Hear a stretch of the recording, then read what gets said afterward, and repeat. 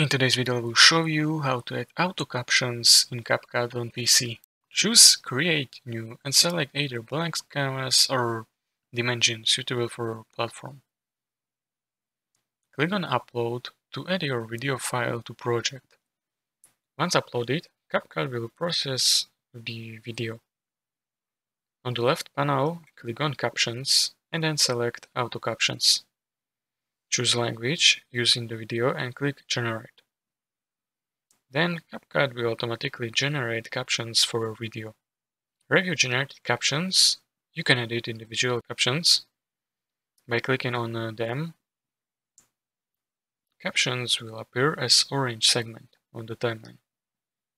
Clicking on the captions will reveal it in the editor, where you can make adjustment. Click on Captions text to access customization options. You can change text preset and adjust basic text properties such as size, font, style, color alignment. Once you are satisfied with captions, click on the export and then download your video. Video will be exported with auto-generated captions and that's it. If you found this tutorial helpful, consider subscribing and liking video.